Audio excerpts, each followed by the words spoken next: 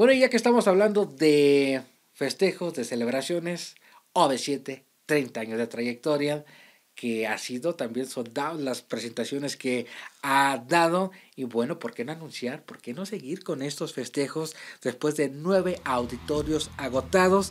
Dos presentaciones más, 29 y 30 de abril, por los 30 años de vida de una de las agrupaciones más importantes de México en el ámbito pop. Y es que el regreso de OV7 se ha convertido en uno de los acontecimientos musicales más esperados por los fans mexicanos.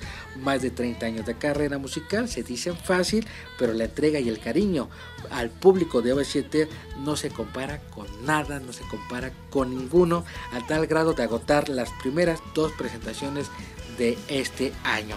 La gira continúa con gran éxito, con dos sold out en el Auditorio Nacional. En marzo llegarán a Estados Unidos, también lo harán con dos fechas en abril en el Coloso de Reforma y dos más en el Auditorio Telmex allá en Guadalajara.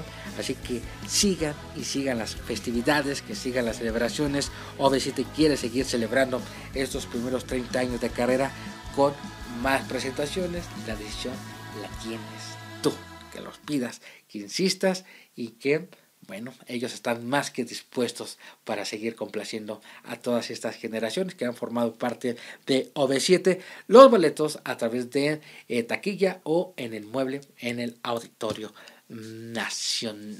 Muchísimas gracias a Ocesa, a Rafa. Eh, yo soy Ángel Gatica. Ya nos vamos. No nos corten. Y nosotros nos vemos próximamente.